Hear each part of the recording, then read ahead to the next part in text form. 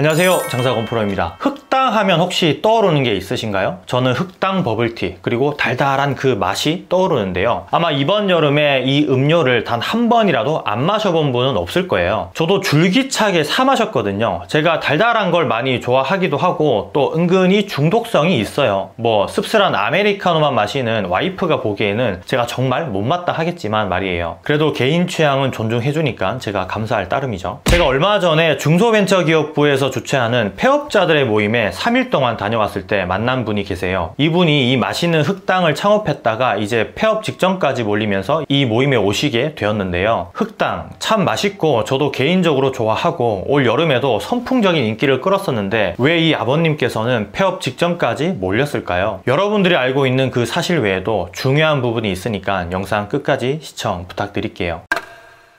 흑당의 시초는 대만이죠. 대만의 음료 문화나 음식들 그리고 디저트 종류를 보면 우리나라 사람 입에 참 잘 맞겠다 하는 생각이 들어요. 저도 흑당이 상륙하기 직전에 10일 정도 대만에 머물면서 온갖 음식들을 탐닉하면서 다녔는데 이건 먹어도 먹어도 질리지 않고 제 입에 너무 잘 맞다 보니까 여행이라는 게 더욱더 즐거워지더라고요. 사실 여행이라는 게 제 개인적으로는 먹고 보고 즐기고 쉬는 것이 다다라는 입장인지라 가장 첫 번째인 음식 음식이 입에 안 맞으면 그 여행의 만족도는 많이 떨어지게 되어 있거든요. 그런 점을 놓고 보자면 대만은 아주 훌륭한 여행지였던 거죠. 1일 2 밀크티, 2 흑당을 마셨으니까 말이에요. 그래서 우리나라에서도 아마 대박을 칠 거라는 예상은 했어요. 이 아버님도 같은 맥락으로 생각하고 흑당 버블티에 매료되어서 가게를 차린 거겠죠. 물론 프랜차이즈로 차리신 거죠. 사실 당시만 해도 개인의 능력으로 이 흑당 버블티 가게를 차리는 건 쉽지 않은 문제였거든요. 카페 운영 경험이 있다고 해도 말이에요. 브랜드력이 받쳐줘야 핫하게 팔리는 그런 시점이었으니까요. 제가 초반에 말씀드린 한국에서도 대박 칠 것 같다라는 건 사실 가맹점주들이 돈을 잘 벌겠다와는 일맥상통하지는 않아요. 그럼 뭘까요? 네, 맞아요. 본사가 대박 치겠다. 소비자가 정말 좋아하겠다라는 의미인 거죠. 이 아버님도 초반에는 불티나게 팔리는 걸 경험하고 가게를 하나 더 오픈하게 돼요. 일명 다점포 점주가 되신 거죠. 하나의 브랜드를 여러 개 동시에 동시에 운영하는 그러니까 이 브랜드가 정말 마음에 들었다는 거예요. 아니고서야 두 번째 가게를 낼 수는 없으니까요. 그런데 역시나 문제는 카피 브랜드 그리고 프랜차이즈 마진 구조의 한계였죠. 많이 팔릴 때야 그런 걸 생각할 겨를도 없이 팔기에 바빴지만 주변에 우후죽순으로 온갖 흑당이라는 흑당은 다 들어오고 기존 커피숍에서까지 온통 흑당 메뉴를 출시하니까 매출이 안 떨어지고는 버틸 수 없었던 거죠. 거기다가 한 가지 실수를 더 하는데요. 흑 흑당을 흑당으로 만들지 않았던 거죠. 음, 그러니까 흑당이라는 게 보통 사람들이 잘못 알고 있는 부분이 흑설탕으로 오인하는 경우가 많아요. 그런데 이게 흑설탕이 아니라 설탕을 만들 때 사용하는 이 사탕 수수즙을 끓이고 졸여서 만든 거예요. 정제 과정을 거치지 않은 설탕인 거죠. 반대로 우리가 흔히 이야기하는 흑설탕, 즉 갈색 설탕은 정제 과정을 거친 설탕인 거고요. 어쨌든 흑당이 흑설탕보다 몸에도 덜 해롭고 가격도 비싸요. 뭐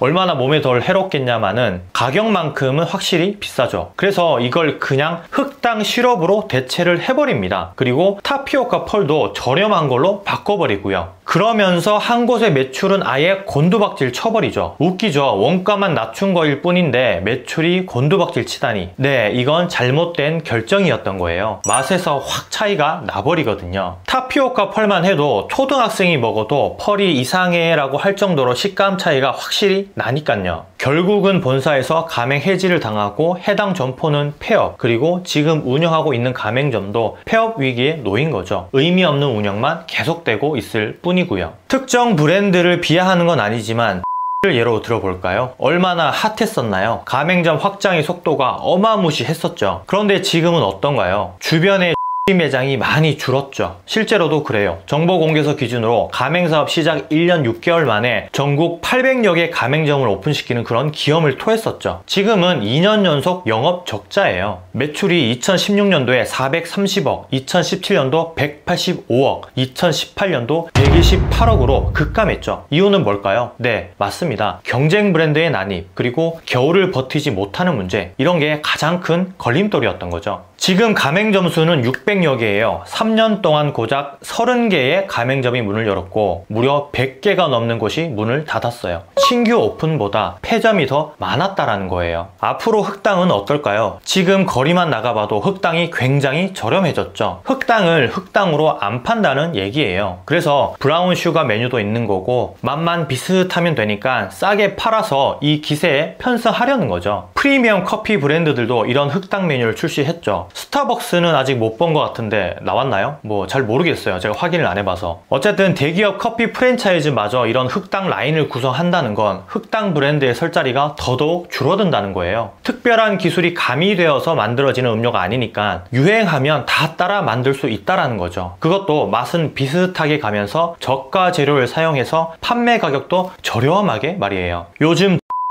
유행하고 있죠. 행보가 조금 남다르긴 해요. 가맹점 문의가 폭발하는데도 가맹 사업을 안 하고 있죠. 올해까지는 별다른 계획이 없다고 하는데 벌써 22개의 법인 또는 직영점 매장만이 운영을 할 뿐이에요. 그것도 대규모 매장으로만 말이죠. 브랜드의 내실을 다지는 건지 아니면 아예 스타벅스처럼 직영 체제로만 운영을 할 계획인 건지는 모르겠지만 아마 가맹 사업을 하게 되면 직영점 역시도 좋은 가격에 양도를 하겠죠. 서로 만족할 수 있는 그런 가격의 말이에요. 앞으로의 행보가 기대되는 브랜드이기도 해요. 흑당과 커피숍이 두려워하는 계절이 서서히 오고 있어요. 벌써 매출이 줄고 있다는 소리도 여러 들려오고 있고요. 흑당 버블티야 따뜻하게 마실 수도 있지만 확실히 겨울에는 되면 매출이 떨어질 게 불보듯 뻔하거든요. 여름에 흑당으로 재미를 좀 본 카페들도 이번 겨울은 어떻게 날지 고민이 많이 될 거예요. 첫 흑당이 열풍을 일으키고 처음으로 맞이하는 겨울이니까요. 누군가는 선구자가 되겠죠. 아니라면 처럼 또 어두운 통로를 빠져나와야 하는 그런 암흑의 시기가 올 수도 있고요. 어느 기사에서 그러더라고요. 대만의 흑당 열풍은 이미 식었다고요. 4, 5년간 지속된 대만 현지에서의 흑당은 인기가 식었는데 우리나라는 어떨지 귀추가 주목된다고 말이에요. 대만은 사계절이 없어요. 1년 365일이 여름이에요. 여름, 여름, 여름, 여름. 온도 차이만 조금 날 뿐이죠. 그런데 우리나라는 사계절이 확실하게 구분되어져 있죠. 계절에 맞는 음료도 다양하고요. 그래서